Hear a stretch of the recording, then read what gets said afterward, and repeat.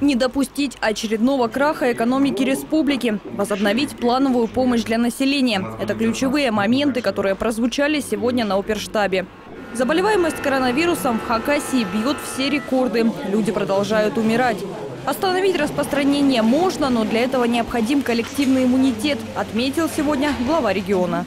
Либо э, переболеет 70% и там 65% населения, э, либо э, они вакцинируются.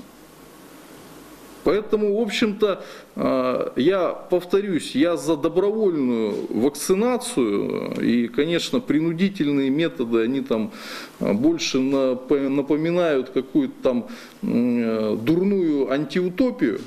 Других методов борьбы не придумали. Задача поставить COVID-19 в ряд с другими заболеваниями, будь то грипп или сезонная простуда – Впрочем, пока статистика говорит об обратном. Врачи вновь работают на износ, целые корпуса больниц перепрофилируют под коронавирусное отделение. Страдает бизнес.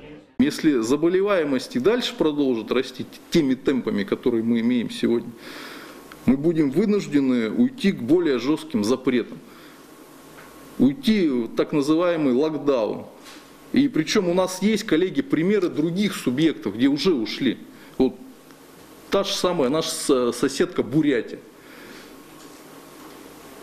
Поэтому никто из нас сегодня не хочет каких-то дополнительных ограничений.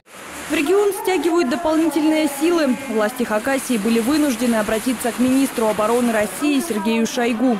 Накануне шесть военных врачей прибыли для работы с пациентами больными COVID-19. Известно, что анестезиологи и реаниматологи будут направлены в Черногорскую больницу, где развернуто 38 коек.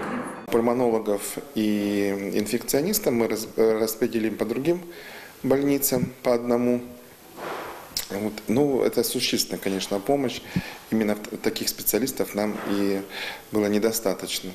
Что касается вакцинации, принято решение увеличить количество пунктов, где можно поставить прививку. Поступает вакцина, партия 14 тысяч доз. Кроме этого, у населения есть нарекания о работе госуслуг, когда сертификаты и данные просто не появляются. Эту проблему планируется решить работой волонтеров. Полина Назарова, Александр Сердюк, РТС.